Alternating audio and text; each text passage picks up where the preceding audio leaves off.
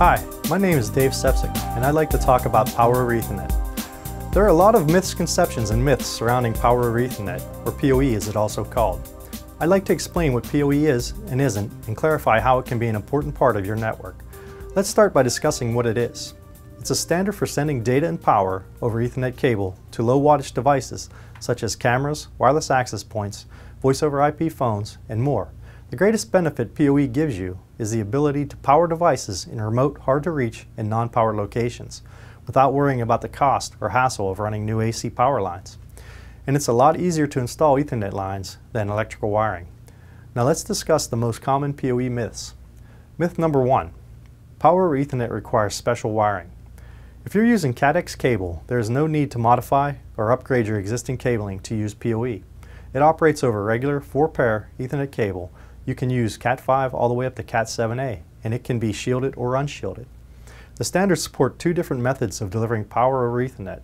In the first, two wire pairs are used for data, the other two pairs are used for power.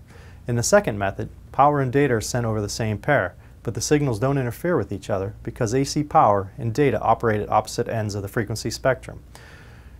For example, electricity has a low frequency of 60 Hz or less. Data has frequencies that range from 10 million to 100 million hertz, so there is no interference. Myth number two, all PoE is the same.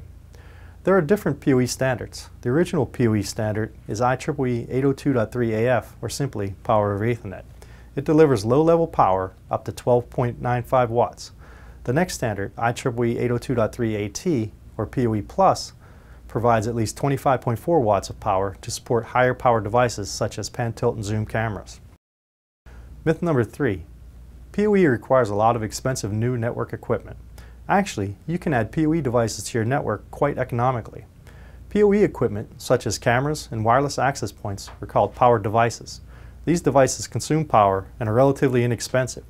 The other type of PoE equipment is called power sourcing equipment.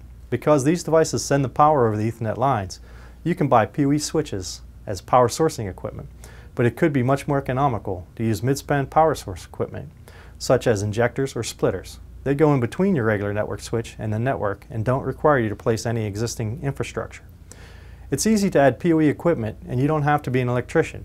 Because most of the equipment is plug and play, you don't have to worry if a device is getting the wrong amount of power or worse, getting power when it shouldn't. This is because the equipment talks to each other.